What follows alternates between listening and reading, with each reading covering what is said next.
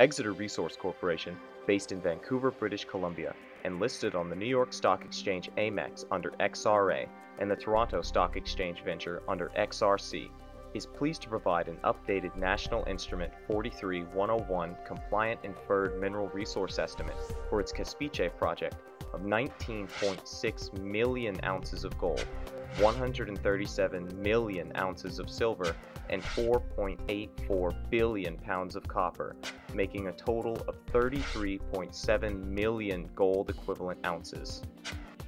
Exeter's chairman, Yale Simpson, stated, This updated resource estimate places Caspiche firmly among the world's largest gold copper discoveries in recent years and clearly supports our decision to aggressively drill the property despite the global economic decline.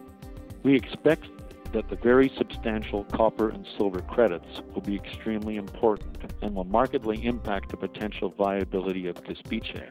The 4.84 billion pounds of copper and 137 million ounces of silver are equivalent to 12.1 and 2.0 million ounces of gold respectively.